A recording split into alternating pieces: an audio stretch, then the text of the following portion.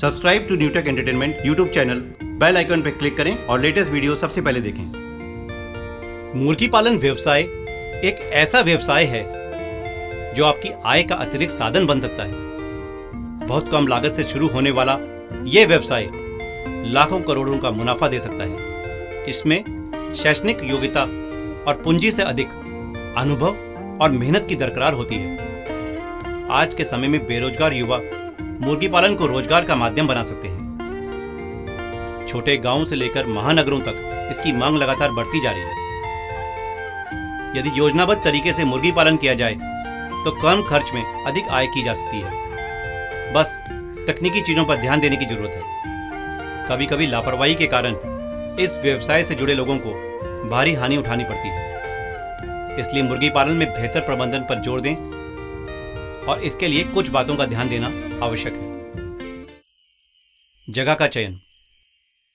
Form बनाते समय यह ध्यान दें कि यह गाँव या शहर से बाहर, मेन रोड से दूर हो, पानी व बिजली का पर्याप्त व्यवस्था हो, फार्म हमेशा ऊंचाई वाले स्थान पर बनाए, ताकि आसपास जल जमाव ना हो। दो पोल्ट्री फार्म एक दूसरे के करीब न हो। फार्म की लंबाई पूर्व से पश्चिम हो।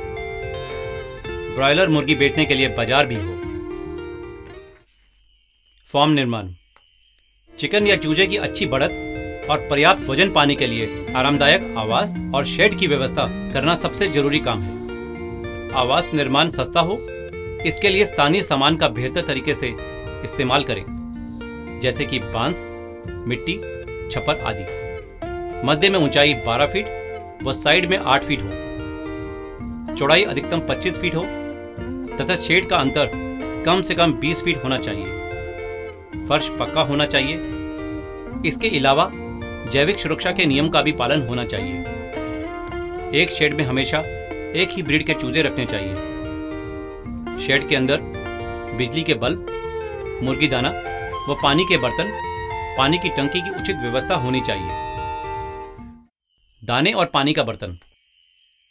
प्रत्येक सौ चूजों के लिए कम से कम तीन पानी और तीन दाने के बर्तन होना बहुत ही आवश्यक है। दाने और पानी के बर्तन आप मैनुअल या ऑटोमेटिक किसी भी प्रकार का इस्तेमाल कर सकते हैं। ऑटोमेटिक वाले बर्तनों में पाइप सिस्टम होता है, जिससे टंकी का पानी सीधे पानी के बर्तन में भर जाता है। बुरादा या लीटर। बुरादा या लीटर के लिए आप लकड़ी का पाउडर, मूंगफली का छिलका या धान का छिलका उपयोग कर सकते हैं। चूजे आने से पहले लीटर की तीन चार इंच मोटी परत फर्श पर बिछाना आवश्यक है। लीटर पूरा नया होना चाहिए एवं उसमें किसी भी प्रकार का संक्रमण ना हो। ब्रूडिंग। चूजों के सही प्रकार के विकास के लिए ब्रूडिंग सबसे ज़्यादा आवश्यक है। ब्रॉयलर फार्म का पूरा व्यापार पूरे तरीके से ब्रूडिंग के ऊपर निर्भर करता है। चूजों को फार्म में भी ज़रूरत के अनुसार तापमान देना पड़ता है। ब्रूडिंग के लिए आपको नियमित रूप से बिजली की आवश्यकता होती है। गर्मी के महीने में प्रति चूजे को एक वाट की आवश्यकता होती है, जबकि सर्दियों के महीने में प्रति चूजे को दो वाट बिजली की आवश्यकता होती है। गर्मी के महीने में चार से पाँच दिन ब्रूडिंग किया जाता है और सर्दियों के महीने में ब्रूडिंग 12 से 15 दिन तक करना आवश्यक होता है। पीने का पानी।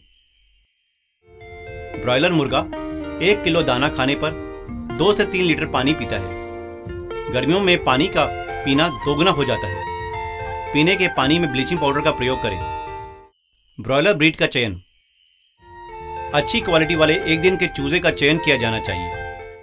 चूजे के घर में पहुँचने से पहले की तैयारी। पहले से इस्तेमाल किए जा रहे पालकी को हटा दें और दूसरे सामान की अच्छी तरह सफ़ाई करें। पालकी और पूरे पोल्ट्री घर में सैनिटाइजर का छिड़काव करें।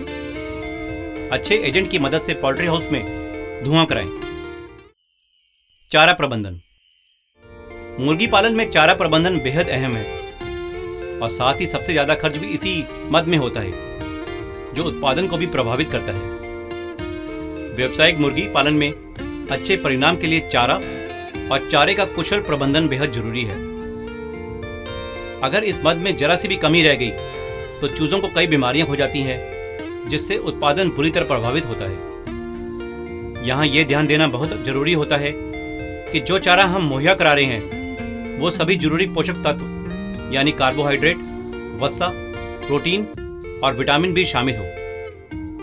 चारे के प्रकार प्री स्टार्टर स्टार्टर और फिनिशर रोग नियंत्रण और एहतियात, बीमारी रहित स्टॉक से शुरुआत, बाड़े में चूजे को टीके दिलाएँ, बिना समुचित सुरक्षा उपायों के भारी व्यक्ति को पोल्ट्री फार्म में ना आने दें। शेड के भीतर घुसने की जगह पर पैर धोने और हाथ धोने की समुचित व्यवस्था हो। रोज साफ़ सुथरे पानी की व्यवस्था करें। विषाणु, रानीखेत न्यू कैसल रोग फॉर्म में मौजूद सभी चूजों को प्रभावित कर सकते हैं। इससे सांस लेने में समस्या आती है, नाक से पानी गिरने लगता है और इसमें 90 से 100 फ़ीसदी मृत्यु दर है। शुरुआत में ही बचाव के टीके लगाएँ। डॉक्टर के द्वारा हर सप्ताह इनकी जाँच करवाएँ और समय समय पर टीके लगाने से बीमारी और इन्फेक्शन से बचाया जा सकता है। जैव सुरक्षा उपाय। इससे पोल्ट्री फार्म में फैलने वाले रोग को रोकने का इंतज़ाम किया जा सकता है। इसमें तीन महत्वपूर्ण अंग हैं। अलग करना ट्रैफ़िक नियंत्रण और सफ़ाई व्यवस्था। मार्केटिंग सबसे अंत में सबसे अहम बात मार्केटिंग की है। फार्म की शुरुआत से पहले ही मार्केटिंग की योजना बना लेनी चाहिए। एक सफल फ़ार्मिंग के लिए अच्छी पोल्ट्री मार्केट और अच्छी कीमत बेहद ज़रूरी है। एक और खास बात यह है कि भारत में कुछ त्योहार के दौरान चिकन की खपत कम हो जाती है। इसलिए इस बात को भी ध्यान में रखकर उत्पादन किया जाना चाहिए, तभी सफलता मिल पाएगी।